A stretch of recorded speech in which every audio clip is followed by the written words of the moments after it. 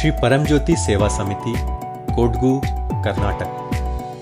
पौधे लगाना, जीवन का पालन व उसे सामर्थ्यवान बनाने जैसा है। इससे संतोष व समाधान प्राप्त होता है। सेवकों ने नांगला गाँव में सरकारी प्राथमिक पाठशाला एवं विराज पेटे में सरकारी जूनियर कॉलेज में जाकर पौधे लगाए। वहाँ के अध्यापक व छात्रों को इस कार्य को आगे बढ़ाने के लिए प्रोत्साहन मिला। सेवक इस पूरे अनुभव से बहुत आनंदित हुए और उन्होंने श्री परम ज्योति को इस आशीर्वाद के लिए अपनी कृतज्ञता अर्पित